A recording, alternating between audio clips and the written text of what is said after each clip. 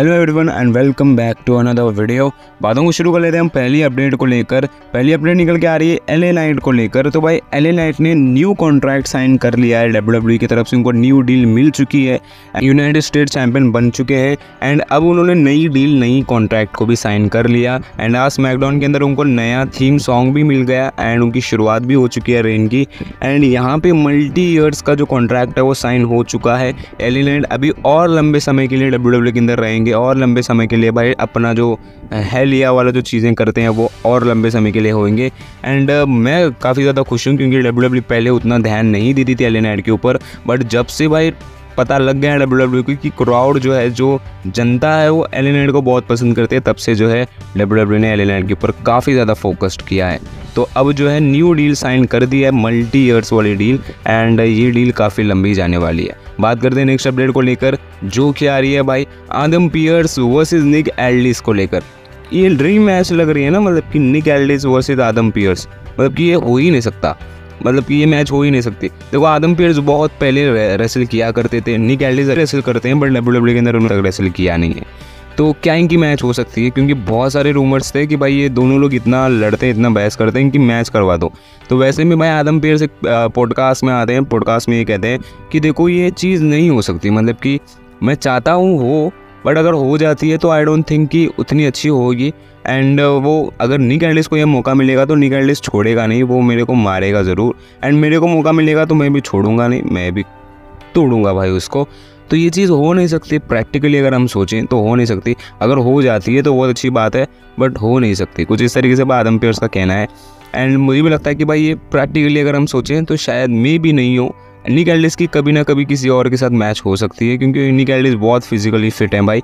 आदम piers नहीं लगते fit ये छोटी सी अपडेट थी। बात करते हैं नेक्स्ट अपडेट को लेकर, जो कि आ रही कोडी रोड्स को लेकर। तो भाई कोडी रोड्स को एक और मिड मैच मिल गई। इतना बड़ा चैंपियन और उसको मिड मैच मिल रही है। सोचो भाई, क्या ही मतलब कि जो भी कोडी कराया बीबीज थे, वो अभी सच में रो रहे होंगे, सच में कह रहे होंगे कि भाई इससे अच्छा रोमन ही चैंपियन अच्छा था।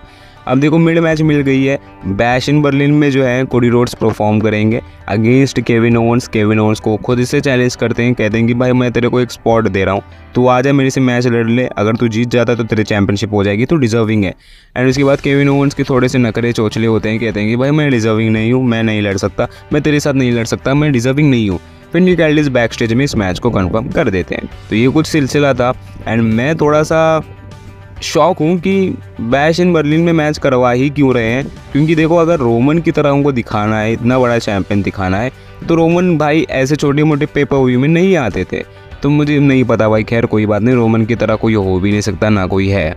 तो ये कुछ बात थी कोडी रोड्स को लेकर कि कोडी को एक और मिड मैच मिल चुकी है। बात करते हैं नेक्स्ट अपडेट को लेकर, जो कि आ रही सत फ्रिकन रॉलिंस को लेकर। थोड़ी सी सैड अपडेट है, थोड़ी सी मतलब कि थोड़ी सी नहीं, थोड़ी सी ज़्यादा ही सैड अपडेट है। कोडी रो सत रॉलिंस जो है, अभी भी इंजर्ड हुए थे भाई रॉ के अंदर मंडे नाइट रॉ में, जिस तरीके से भाई ब्रॉन्सन ब्रीड ने अटैक किया था। एंड उसके बाद अब क्या था कि जो रोप सेथ रॉलिंस की जो इंजरी है, वो बहुत पहले की इंजरी है, जो ठीक नहीं हो रही, जो अभी भी बरकरार जमी हुई है सेथरोलेंस के जिसम में। अब इसका कहना ये है कि कहीं ना कहीं एक इंजरी ऐसी है सेथरोलेंस की, जो लाइफ टाइम हो चुकी है, कि उन, उनकी करियर से वो जा ही नहीं रही, वो कभी ना कभी किसी वजह से आ जाती है एंड वो इंजरी लग जाती है तो अभी वही इंजरी आ चुकी है भाई वापस। पता नहीं नी वाली इंजरी है, या फिर स्टमक वाली, या फिर आम वाली, पता नहीं कहाँ की इंजरी है, इनको अभी तक पूरा क्लियर क्लियर बातें नहीं हुई हैं एंड वापस कब आएँगे, इनका रिटर्न कब होगा? इसके ऊपर कोई भी डेट नहीं है। इसका मतलब काफ़ी लंबा टाइम लगेगा भाई एंड शायद लग रहा है कि एक महीना या फिर दो महीने हो सकते हैं। बात करते हैं नेक्स्ट अपडेट को लेकर, जो कि आ रही है अपनी नेक्स्ट अपडेट ब्रॉक लेसनर को लेकर। ब्रॉक लेसनर जो है, वो काफ़ी काफ़ी ले वाले थे, एक अपडेट रॉयल रंबल में आने वाले थे। डेव मिल्जर डेव मिल्जर कहते, डेव मिल्जर के अकॉर्डिंग जो ब्रॉक लेसनर थे, उनका रिटर्न फिक्स्ड हो चुका था कि वो रॉयल रंबल में डब्ल्यू डब्ल्यू को एक मैसिव सरप्राइज़ की तरह प्रेजेंट करेगी ब्रॉक लेसनर को। ड्यू टू द केस जो केस चल रहा है भाई ब्रॉक के ऊपर, वो केस आगे बढ़ चुका है एंड वो केस जो है फाइनल हो जाएगा फेब्रवरी दो को। एंड भाई फेब्रवरी दो के बाद जो है पूरी तरीके से क्लियर हो जाएगा। ब्रॉक लेसनर टोटली क्लियर है, ऐसे कुछ चीज़ें हो जाएँगी। तो डब्ल्यू ने भाई अब फिर से भाई इनिशियली उस चीज़ों को कैंसिल कर दिया ब्रॉक ले कैंसिल कर दिया। ब्रॉक लेसनर आने वाले थे रॉयल रंबल में, अब वो रॉयल रंबल में भी नहीं आएँगे। अब वो शायद फेबरवरी के बाद आ सकते हैं या फिर मार्च में आ सकते हैं या फिर अप्रैल में आ सकते हैं। फेबरवरी के बाद ही आएँगे ब्रॉक लेसनर तो ये कुछ अपडेट है। अगर जिसको लग रहा है कि भाई ब्रॉक लेसनर अभी आ जाएँगे, परसों आ जाएँगे, तरसों आ जाएँगे तो सोच लो भाई, देख लो, सुन लो। कि ब्रॉक लेसनर जो है, वो अगले साल ही आने वाले यानी कि 2024 में ही आएँगे। बात करते हैं नेक्स्ट और फाइनल अपडेट को लेकर, जो कि आ रही है रोमन एंड पॉल हेमन को लेकर। रोमन आज भी स्मैकडाउन के अंदर अकेले आए थे समर स्लैम के अंदर भी अकेले आए थे। अब इसका मसला क्या है? एक्चुअल में डब्ल्यू क्या दिखाना चाहती है? तो डब्ल्यू का क्लियर हिंट है भाई क्लियर क्लियर दिखा रही है डब्ल्यू कि अगर पॉल हेमन नहीं है अभी तो इसका मतलब Paul Heyman W W Roman Reigns तीनों लोग कुछ बढ़िया कुक कर रहे हैं मतलब कि कुछ बढ़िया बवाल बना रहे हैं कि जब पॉल हेमन आएँगे तो सोच लेना, समझ लेना भाई हंड्रेड एंड वन परसेंट बहुत बड़ा ट्विस्ट लेके आएँगे। तो अभी ऐसा नहीं कि पॉल हेमन इंजर्ड हैं, वो भाई फ़र्स्ट क्लास अच्छे खासे मूड में अच्छा खासा सब कुछ कर रहे हैं। स्टोरीज अगर उनके आप देखोगे तो वो हर चीज़ पोस्ट कर रहे हैं रोमन के ऊपर रोमन से ही रिलेटेड है।